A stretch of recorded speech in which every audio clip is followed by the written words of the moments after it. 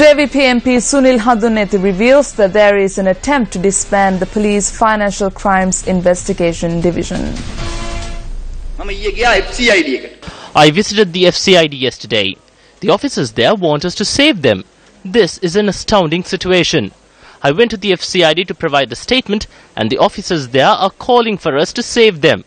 There is an attempt to terminate their services. There is an attempt to dissolve the FCID after the 30th of this month. The place where their identification cards are being made has been informed not to renew their IDs. We ask the government, is their task over? Have they put a stop to waste, corruption, theft and fraud? Why are they trying to shut down the FCID? Later, the rogues can say, did you catch me? The people who are planning on engaging in corrupt activities can rejoice, thinking there is no institution to catch them. This is the sad situation of this country.